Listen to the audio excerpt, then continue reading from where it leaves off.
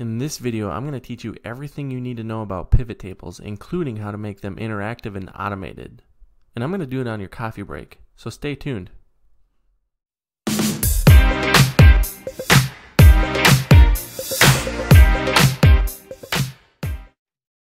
Here I have the passing data pulled from the NFL's website from the past decade, or from 2010 through week 16 of 2019. As you can see, that's over 950 rows of data. And if anyone is wondering, I did put a link to where the data came from in the description below. I've also added a few data points myself. As I'm going through these examples, you'll need to use your imagination to imagine what data you would be using with your workplace or at home. So let's get going here and look at the massive data set. Here's the categories I have that I think are worth calling out. The player's name, the respective year of the statistics, the team the player was with that given year, their passing stats, and their passer rating. I also included the conference and the division they were playing with during the respective year of the data. There's so much data here it would take ages to sort through it the old fashioned way. And even beyond that, it would be difficult to tell a good accurate story with this data if I was fielding spontaneous questions in a meeting, because I wouldn't be able to sift through it fast enough. I need to clean it up so I can tell this data's story easily and efficiently. So let's dig in and learn how to work smarter instead of harder. The first step is to decide what data I want to include in the pivot table. The easiest way to do that is to turn the data itself into a table that has headers. To do that, I'm going to highlight column A through V. From the ribbon on the Home tab, I will then select Format as Table. From there, I'll pick the style I want with headers. It doesn't really matter what style you choose. I'll get a pop-up that will already have columns A through V selected as the data being added to the table. I'm going to ensure the My Table has headers option is checked and then click OK. My table is now created and it has automatically brought me to the ribbon on the Design tab. This is where I can name my table in the upper left hand corner. I'm going to name this one Passing. Now I am ready to create my pivot table and start telling my story. From the ribbon on the Insert tab, click Pivot Table. From there, I get a pop-up. You can see that because I selected a cell, any cell will work within the passing table. Excel is smart enough to know that the data from the passing table is the data that I want to use to create my pivot table. I also want to put the pivot table on a new worksheet which is the default option by the way. So I'm okay with everything in this pop-up. That means I can simply just click OK. You'll notice that Excel created a new page and added the blank pivot table. On the right hand side of my screen, you'll see pivot table options come up. I'm ready to start building my pivot table now. Next, let's learn about the different areas of a pivot table. First, let's learn about the values area. Let's say I want to calculate the total amount of passing touchdowns. I simply drag touchdowns into the value area and you can see that since 2010, there has been 7,767 touchdowns thrown. I have a couple options here. Let's say I also want to know how many total passing attempts and completions there have been since 2010. I'll just drag them into the values area as well. Actually, you know what? I changed my mind. I don't want to include touchdowns yet. I'd rather just include attempts, completions, and completions percentage. I can drag to remove touchdowns as an option and add percentage as an option instead. There is a problem here now though is showing the total completion percentage, not the average completion percentage. So if I right click on that cell and then select value field settings, this will open up some options for me. This is where I can choose things like count, max, min, or average. For this example, I want average.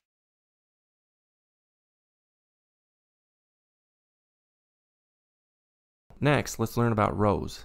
This is where I can add specific items I want to learn about. For example, if my goal is to know these passing statistics for each specific player, I could add player to the rows area from the field. If I want to know these statistics per player broken down by year, that's where the column area comes into play. If I drag year into the columns area, you can see it broken down by year. But for my example moving forward, I just want to look at total statistics for each player and remove the year from the columns. There's a better way to do that, which I'll show you in a little bit.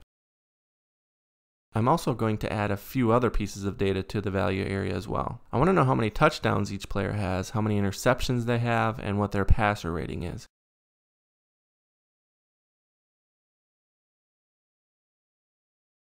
I also don't want the total passer rating, I just want the average, so I need to change that in the value field settings. Also, that's way too many decimals for my LCD, so I'm going to go back into the value field settings and change the number format to only show two decimal points.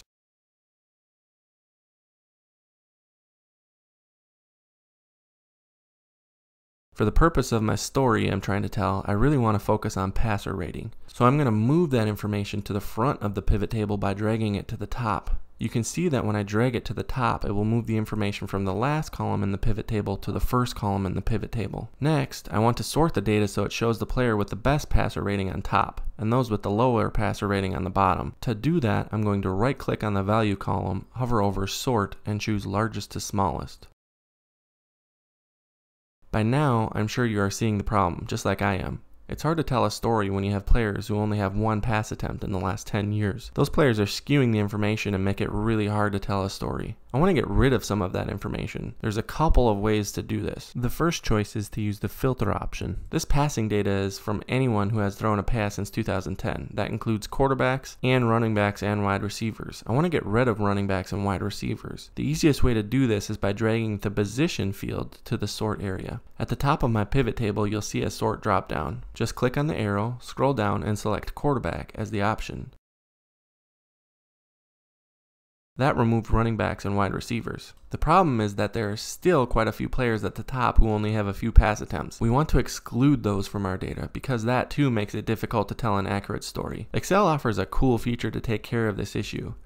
If I click on the drop down arrow and hover over the values filter, this is going to give me a bunch of options to filter further. For example, I just want to look at players who have over 3,000 passing attempts since 2010. I can do that by clicking on greater than or equal to, choose pass attempts as the criteria from the drop down and then type 3,000 in the blank.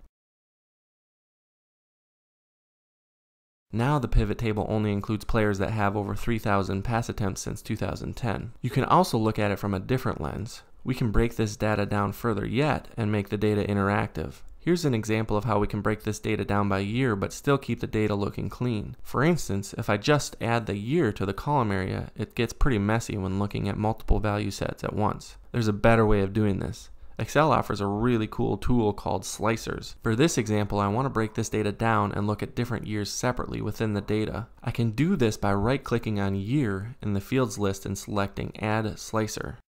Now I can choose one year by clicking on each year, or I can look at multiple years by dragging or holding down the control key and selecting multiple years. There is still a problem though, no data is showing. Well that's because no player has ever thrown 3000 pass attempts in one year which is probably a good thing. So I need to adjust that in our value filter settings that I showed you earlier. I'm going to change that to 300 instead of 3000. Now as I play around with the different years, you can see the number and players change. For example, in 2010, Tom Brady had the top passer rating, but in 2019, Drew Brees had the top passer rating. I can break this down even further by adding a slicer to the conference field option. Now I'm only looking at the top passer ratings in 2018 for players in the NFC that have over 300 passing attempts. I can break it down even further by adding a slicer for division. Now I'm only looking at the top passer ratings in 2019 for players in the NFC North division that have over 300 passing attempts. You can also go back and play with the other slicers. As you can see, pivot tables, when used properly and efficiently, can be a powerful storytelling tool when looking at tons of rows of data, or even just a few rows of data. Like I said, You'll have to use your imagination when thinking how these features would work with your datasets. My guess is that this should allow you to work smarter and not harder. I do have one last thing I want to show you about pivot tables though before I go. If I right click anywhere within the pivot table and click on pivot table options, this will give me a separate window that allows me to change preferences within my pivot table. There are a few things that I think are worth calling out in here to make your life a little easier moving forward. I can name my pivot table here if I would like. On the Layout and Format tab, I can choose to have my headers centered. I can also choose to have the rows auto-fit my data. Basically, this means that if you have a six-figure number in one of the columns, that column will be six characters wide automatically. If I unselect that option, I can still manually stretch the rows to the width that I want them to be. On the Totals and Filter tab, I can decide if I want grand totals in the rows or columns. If I uncheck this option, the totals won't show anymore.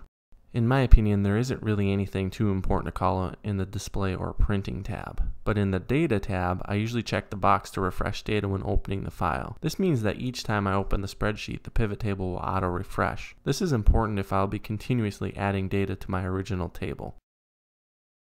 If I don't select this option, I'll need to manually refresh the pivot table each time I add new data.